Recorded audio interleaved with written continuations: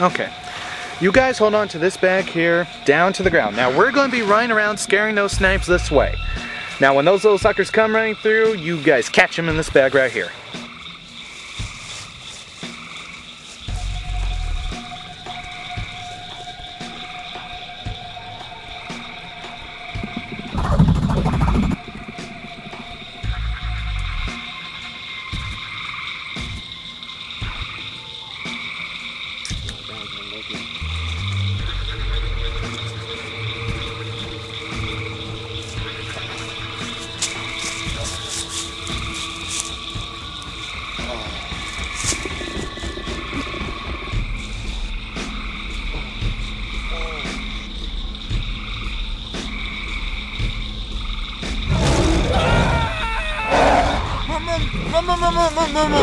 Monster! Monster!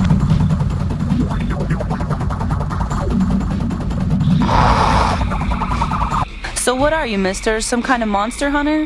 Actually, I prefer the term cryptozoological bounty hunter.